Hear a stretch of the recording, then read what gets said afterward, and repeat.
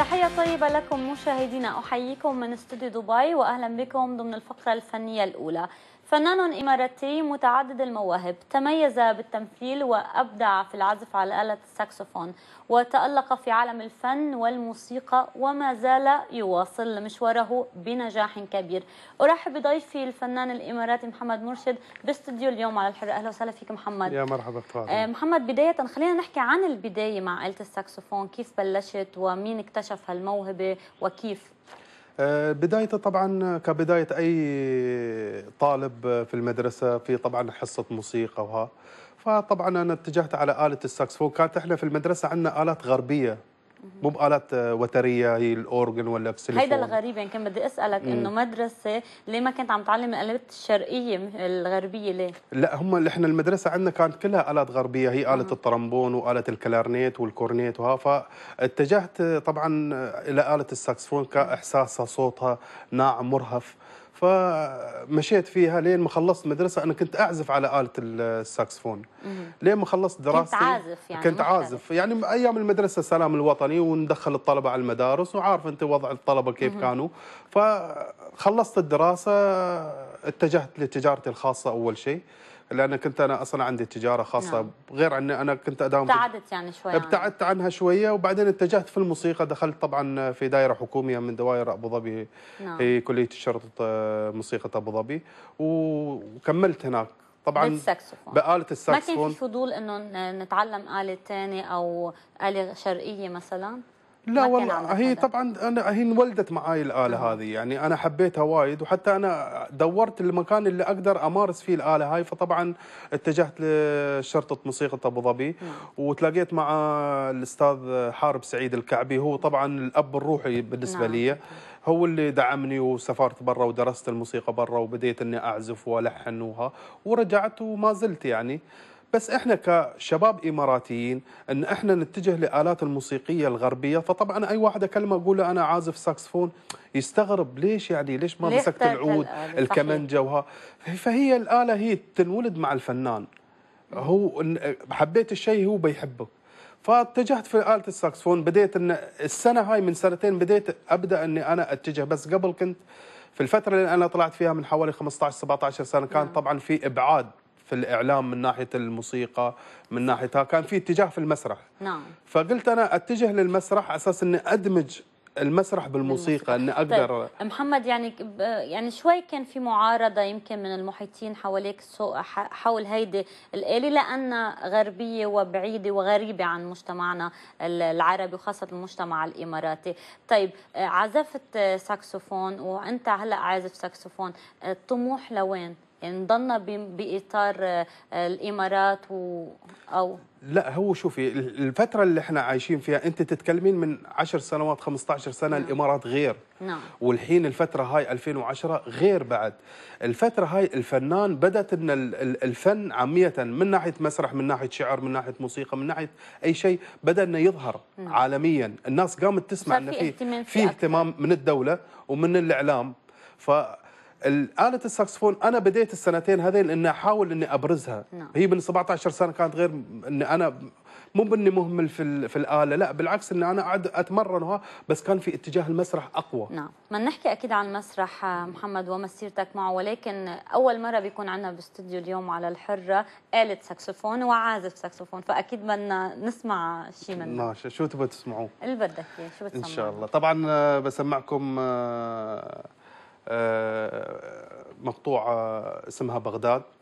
آه، طبعا ألحان منير بشير هي سولو آه، يشتغلوها كذا فنان يعني بس أنا لوحدي بحاول إن تفضل.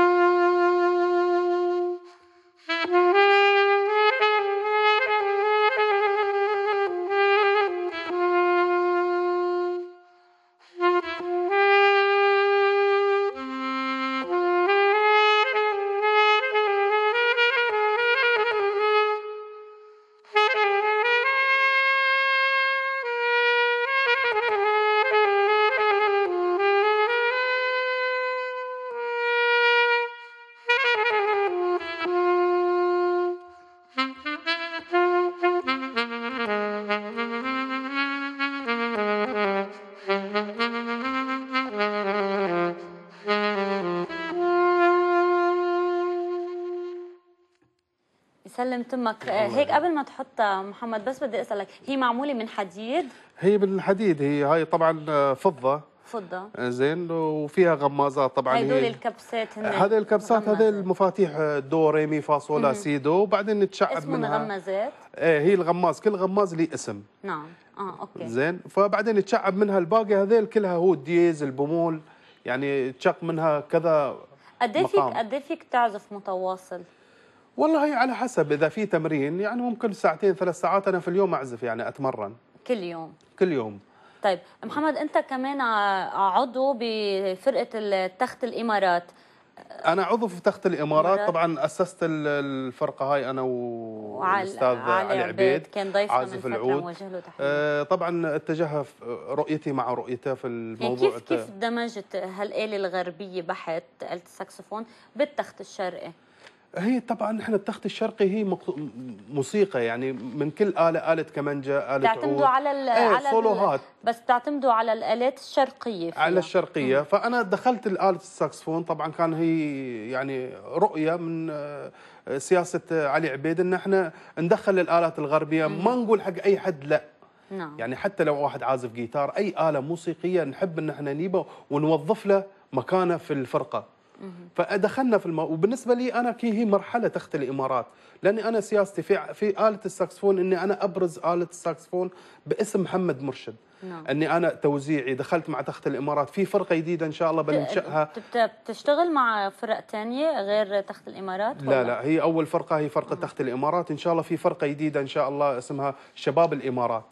هاي بعد مجموعة من الشباب ال- الخليجيين إحنا بنقول ما بالإماراتيين نعم. طبعا من عمان من السعودية بنجمعهم ونعمل فيها بعد فرقة بلون معين يعني. إن شاء الله. ألبومك اللي رح يصدر بالعيد بضم مقطوعات من تأليفك ولا؟ آه، من تأليفي طبعا. سولو آه. آه، كله سولو بيني وبين آلة القانون. نعم. آه، في حوارية بيني وبينهم وفي ثلاث أغاني وطنية إن شاء الله بيكونوا من ضمن الألبوم يعني. طيب محمد رح نحكي عن المسرح لأن حضرتك كمان متألق بالتمثيل بالدراما والمسرح ولكن بدي أسمع شيء تاني منك. حاضرين.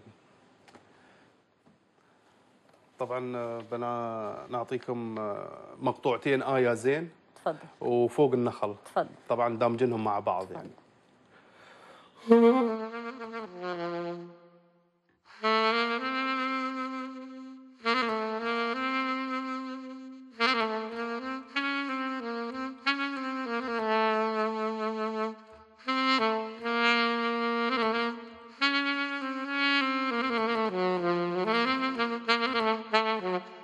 تمك.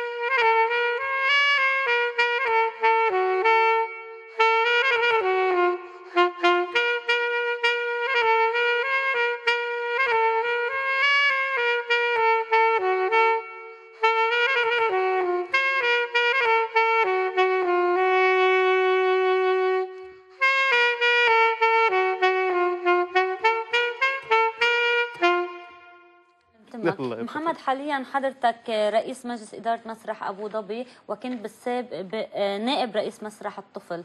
آه، شو الفرق وقد إيه في فرق واختلاف؟ وشو الأصعب مسرح ال- ال- العادي ولا مسرح الأطفال؟ والله شوفي هو الصعب في الشيئين مسرح زايد للطفل. آه، اشتغلت فيه فترة حوالي خمس سنوات نعم. نعم. كممثل ونائب رئيس مجلس إدارة. آه، الطفل صادق. لما نعرض إحنا مسرحية للطفل صادق. في وقت بيصفق بيصفق. وقت ما يهاجم بيهاجم الممثلين. فطبعا حواري أنا مع المم... مع الط- الأطفال كان كان في إحنا نخاف منهم. نعم. فلازم نعطيهم الصح لازم نشتغل عليهم الصح. إذا ديكور ما عجبه ممكن يهاجم ممكن يطلع للمسرح. نعم. إنه يحب البطل ولا يحب البطلة ليش أنت ضربت؟ لأنه هو يتكلم المسرح عن الخير وعن الشر. نعم. في أي أعمال مسرحية في خير وفي شر. فممكن الأطفال يتجهوا مع الشر ما يتجهوا مع الخير. على حسب الممثل الموجود على خشبة المسرح. طب محمد السنة شفناك برمضان بأوراق الحب. آه، ممكن ممكن الدراما والتمثيل ياخذوك من من موسيقى ومن عزف الساكسفون وباختصار إذا بتريد. أه والله شوفي الدراما الموسيقى وال- والدراما والمسرح يعني هم الاثنين يعني في مركب واحد. نعم. ال- اللي بيشدني أكثر أنا اللي بتجه وياه. بس الموسيقى أنا ما استغنى عنها هي روحي يعني. حتى لو كنت إني أنا مثل لازم إني أعزف وأشتغل ويعني نعيش هاي لأن هي هاي غذاء الروح عندي بالنسبة لي. محمد مرشد شكرا لوجودك معنا وبالتوفيق إن كان بالساكسفون أو بالدراما أو بالمسرح. شكرا الله يخليك. لك. مشاهدينا أكيد فقرات اليوم على الحرة بتتابع معكم خليكم معنا.